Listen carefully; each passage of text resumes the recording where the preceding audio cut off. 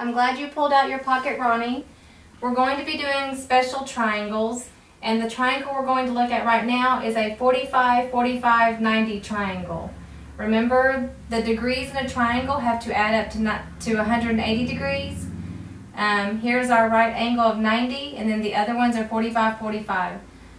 When these angles are the same, that means that these legs on each side of the right angle are going to be the same.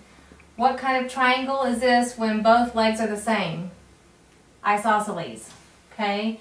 So when you have a 45, 45, 90 triangle, you know that these legs are the same because it's an isosceles triangle. So for now, we're going to say if this is A, if the distance of this leg is A, then that leg has to be A as well. I'm going to prove to you in a minute that the hypotenuse Whenever you have a 45, 45, 90 triangle, both legs are the same, A, A, and then your hypotenuse will always be A times square root of 2. So in a 45, 45, 45, 90 triangle, your hypotenuse will be whatever the leg is times square root of 2.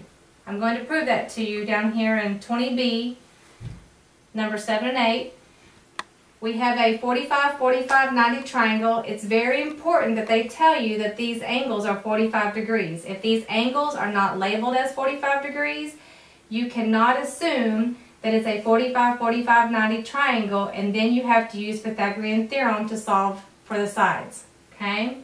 So let's just say I'm going to go ahead and use Pythagorean to solve for the sides. Well, if I know First off, if this is 45 and 45 and the angles are the same, then I know that each leg is also congruent.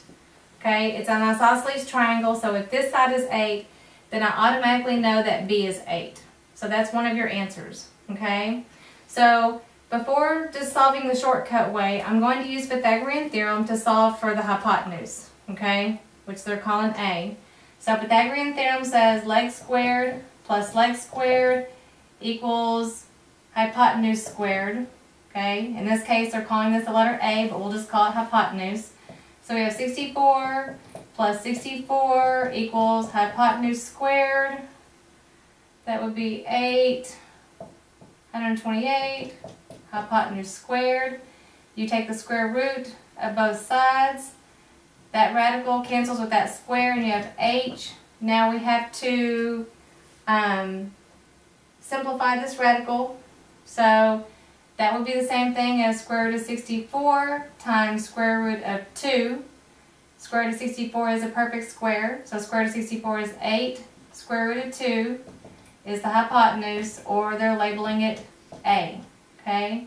So, using the Pythagorean theorem, I just proved that the hypotenuse is always going to be, in a 45, 45, 90 triangle, the hypotenuse will always be the leg times square root of 2. And in this case, the leg is 8. Okay, now going on down to 20D, 1 and 2. They tell us it's a 45, 45, 90 triangle. So therefore, it's an isosceles triangle. So we know the legs are going to be the same. So if this leg is 7 times square root of 2, then we know that B is also 7 times square root of 2. Okay, by the triangles we showed you above, the hypotenuse will always be the leg times square root of 2. That's the leg.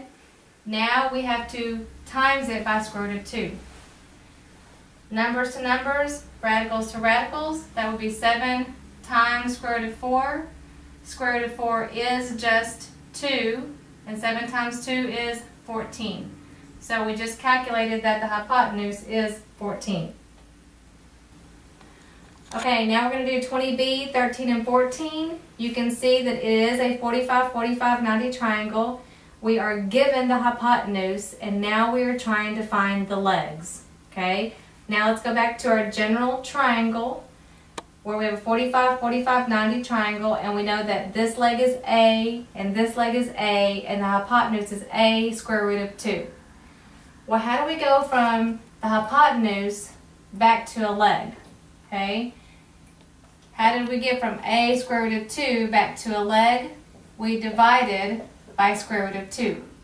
Because then our square root of 2's cancel and we're left with an A. So anytime you are given the hypotenuse and you need to go back to a leg, you just divide by square root of 2, so your square roots of 2's will cancel and you are left with an A, or left with the leg. Okay, so now let's look at this problem. On 20b, 13 and 14, we are given the hypotenuse of 10. Well, we need to divide by square root of 2 in order to find the legs. Okay, so we've divided by square root of 2. Can we leave radicals in the denominator? No. So we have to get rid of the radical in the denominator. How do we do that? We multiply it by itself. We multiply that denominator by square root of 2. Whatever we do to the denominator, we have to do to the numerator. Now we're multiplying fractions, just multiply across. 10 times square root of 2 is 10 square root of 2. Square root of 2 times square root of 2, square root of 4.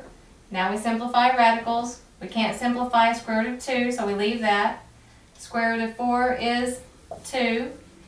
Now we look at our whole numbers and reduce fractions. We can reduce 10 divided by 2. 10 divided by 2 is 5, and we leave the radical, okay? So now we have found out that the leg is actually 5 square root of 2. If one leg is 5 square root of 2, it's an isosceles triangle. The other leg is 5 square root of 2. You can always go backwards to check your answer. Our legs are the same. How do we go from the leg to the hypotenuse? We multiply by square root of 2. So if I took this leg, 5 square root of 2, and I multiplied it by square root of 2 to get to the hypotenuse, because the hypotenuse in a 45, 45, 90 triangle is the leg times square root of 2. Now we just do numbers to numbers and radicals to radicals. That would be 5 times square root of 4, and square root of 4 is 2, so that would be 5 times 2, which is 10, and we did get what the hypotenuse is. So that tells us that the answer we got for our leg is correct.